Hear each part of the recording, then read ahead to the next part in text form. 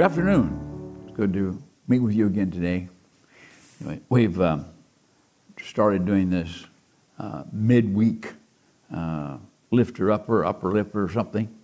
Uh, maybe you call it uh, afternoon over the coffee cup or something. When I thought about it, I remembered a friend of mine in Alaska uh, used to do it over the coffee cup every morning. And uh, his name was Don Nelson. He's gone on to be with the Lord. He's a great guy. But anyway, uh, welcome to all of you that might be watching out there. And Lord bless you really good. And I'm going to be sharing a little bit today on learning to know God. Uh, my message on Sunday, I think, if you watch the live streaming part, it was that I may know Him. Not about Him, but know Him. Well, we have here in our uh, passed out uh, available people a place called Daily Word, and it's got some interesting powerful stuff in there. And, and I picked out several things that I just want to talk about to, today. And, and so this morning, or this afternoon, rather, excuse me, uh, I want to talk about learning to know God. You know, I, I, I underscored something that really got my attention.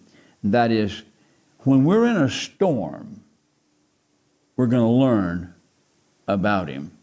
Not from the standpoint of this is God, but we're going to learn him inside of us. And uh, Philippians 4:13, and I think I use this, that I may know him and the power of his resurrection and fellowship of his su- suffering. But knowing him, not about him, but knowing him is vital if we're going to have a successful happy walk in this life. Praise God. Uh, I, I, read about in our devotion here a family, a man and his wife, and they got married. And of course, they wanted to, uh, like a lot of people, they wanted to uh, have some children and so forth. But as they walked through life, they found out that they could not have any children.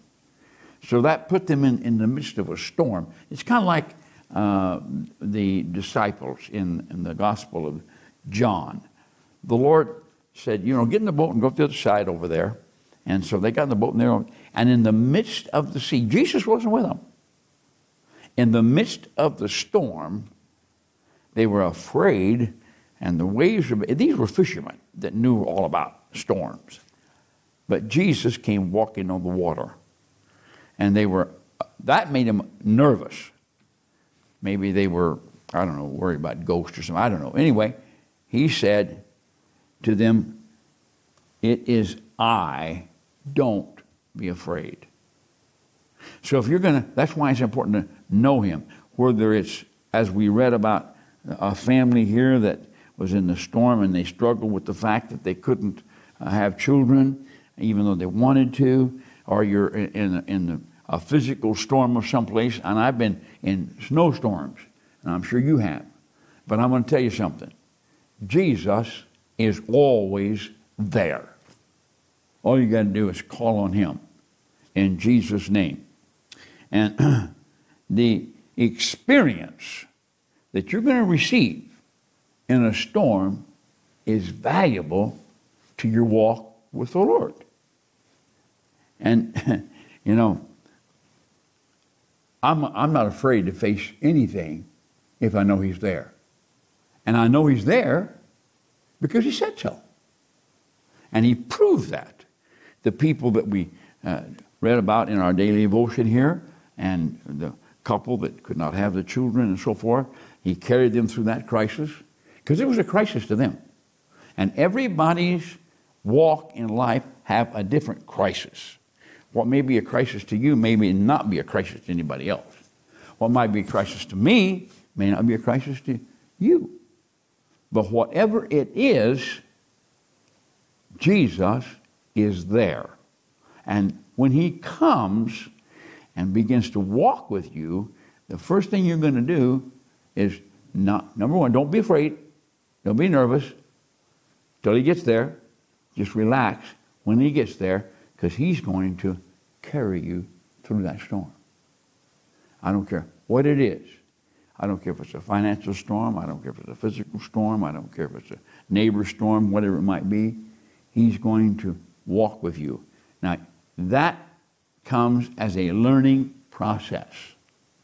Learning to trust Him. There's a song we used to sing years ago said, uh, leaning on the everlasting arms. Well, if you're going to walk with Him, you're going to have to lean on Him. Because you might think you've got all the answers. And you might be able to, you, I've heard this, we say this often. I, I finally saw the light at the end of the tunnel. Well, you know, that light is not our doing, that's the Lord. He's right there, ready. And it's kind of like waiting on us. And all you got to do is trust Him, rely upon Him. And you're going to have to do that as you learn through the crisis. And that's why it's important for us to go through these things. Uh, I, I don't want to face a, a storm without Him. But with Him, I'm not afraid of any storm because He's promised me, He's promised me that He's going to be with me, even as He was with the disciples. As He came, got in the boat. Here's the interesting thing when you read about that in the Gospel of John, the sixth chapter. As soon as He got in the boat, the waves quit and it cal- the sea calmed. That's the way it is with the Lord. And when you least expect it, He comes to your rescue. You can always rely on Him. Let me tell you something. Please listen to this. Learn to trust Him. Now, this won't happen the first day or the second day. And it may be a while before you've learned how to do it. But if you'll just stay in there, it's kind of like getting a college education. You don't go to college and learn everything you need to know the first year or the, even the second year. But a true college degree takes four years, sometimes longer. And so it is with the Lord. I'm not saying it's going to take you four years to learn, but I am going to tell you you have to learn. And the only way you're going to learn is through experience. And the only way you're going to have experience is the storm. And when the storm comes, relax. He's with you. He's going to guide you. You can rest assured of that. Don't be afraid. Be not afraid, is what he says. Trust in him. Lean on him. Trust in the Lord. Proverbs says, with all your heart. Not just today, not just tomorrow, but forever. Trust him. And I don't care what it is, go to him. Don't be afraid to ask him. He's there to help you. And I promise you, stay in the boat. Don't worry about the waves. The master's right there. And you can expect the calm. The Lord bless you. I trust that something that's said today will bless you and help you in the storms of life. We hope you enjoyed this week's message. Join us each Wednesday for a midweek pick me up.